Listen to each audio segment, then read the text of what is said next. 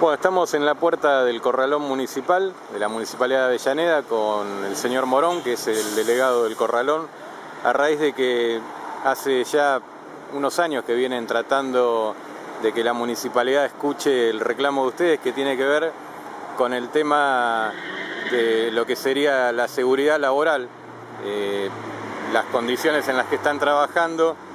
Acá ustedes tuvieron que lamentar el fallecimiento de un compañero y además de eso también eh, surge una realidad que muy bien describías vos, que es el tema de los muchachos que son de las cooperativas. Sí, la cooperativa, sí. Bueno, eh, en realidad, está todo muy precarizado. Yo tengo acá, voy a cumplir 32 años y bueno, 30 años precarizado. Hubo muerte de compañero, el 27 de agosto del 2007 muere por monóxido de carbono que salió en todos los medios eh, Luis Pons.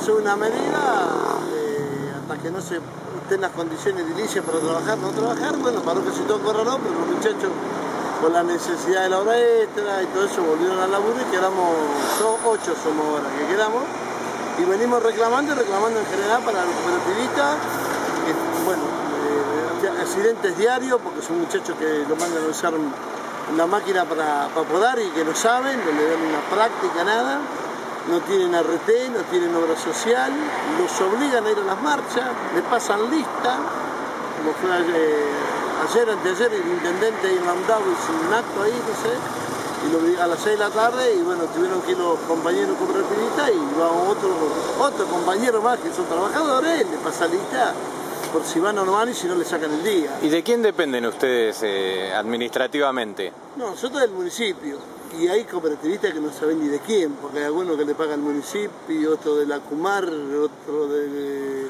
Argentina Trabaja. O sea que en la responsabilidad de que tengan esta precariedad laboral y expuesta a tener accidentes y que nadie se haga cargo. El director es de Jorge Bofetti, es el director, el que maneja toda la obra pública, toda es él. Pero la responsabilidad también sería de la Cumar, que tiene gente que... y acá el que la dirige es Jorge Bofetti, que es el responsable. ¿Y ustedes han preguntado a la Cumar eh, como delegados no, o como...? acá no han venido, no vienen nunca, ellos no saben quién, quién es, ¿viste? Que desde la Cumar que está, está la gente laburando, ¿viste?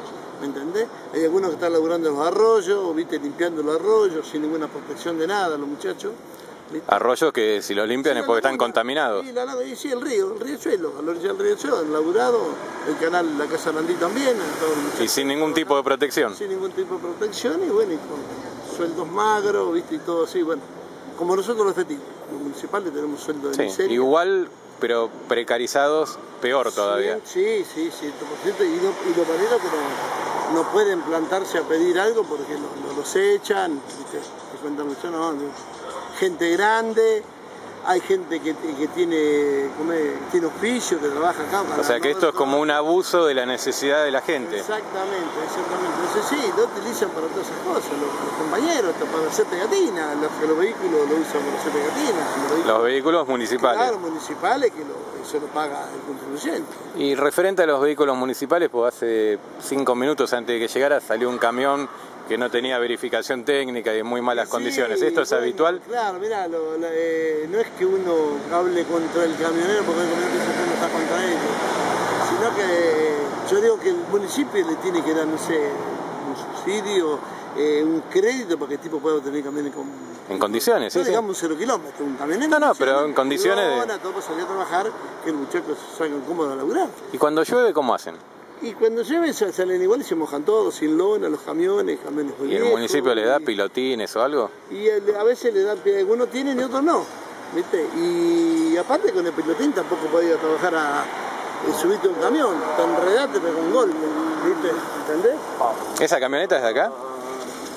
Mira, Porque esa camioneta se lleva dos bidones de nafta y la verdad que me parece un poco raro. Bueno, tenemos acá tenemos un depósito de nafta que estoy cansado de reclamar que lo tiene que sacar de ahí. Es un peligro, un bidón. Se dejan los bidones de nafta ahí, ¿viste? Y bueno, estamos cansados de reclamar eso, hablar con el director, al Ministerio de Trabajo, la verdad.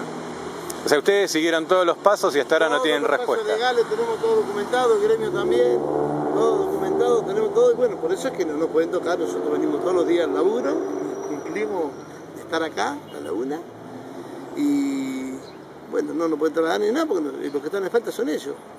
Bueno, lo que vamos a hacer es un seguimiento de esto. Te vamos a pedir si nos puedes acercar la documentación que presentaron para nosotros preguntar por qué no hay una respuesta y también eh, dejar asentado que a partir de ahora ya de que vean la nota no van a poder decir que no saben que esto pasa. Evidentemente que saben, pero la idea es a ver si hay algún compromiso de mejorar la calidad en la forma en que trabajan acá los empleados. La vida de los compañeros, no es una cosa, ¿viste?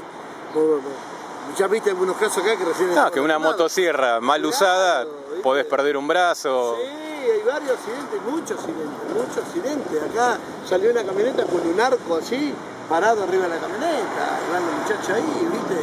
Lo atan y salen así. No sé, bueno. Bueno, te agradecemos la entrevista y vamos a seguir en contacto. Bueno.